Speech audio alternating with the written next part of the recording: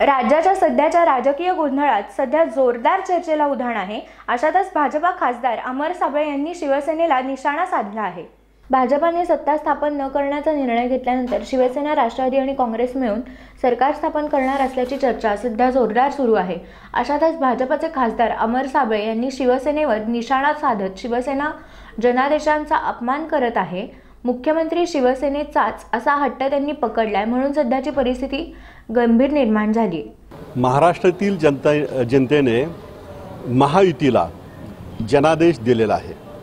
ही निवडणूक पूर्व युती असल्यामुळे जो जनादेश दिला दिलेला आहे तो महायुतीला दिलेला आहे.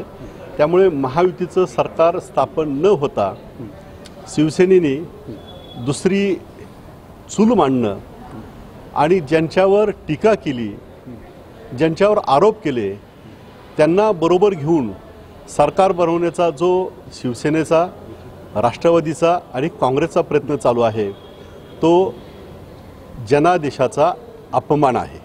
महाराष्ट्रावर अवकाळी पावसाचं संकट आहे.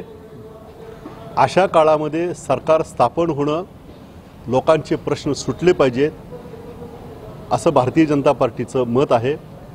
त्यामुळे लोकशाही मार्गाने सरकार स्थापन झालं पाहिजे.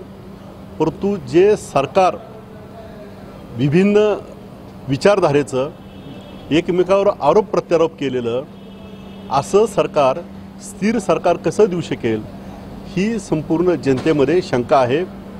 आणि जनतेच्या मनामध्ये संभ्रम असणं आणि जनता संकटात असणं ही परिस्थिती अत्यंत भयावह आहे.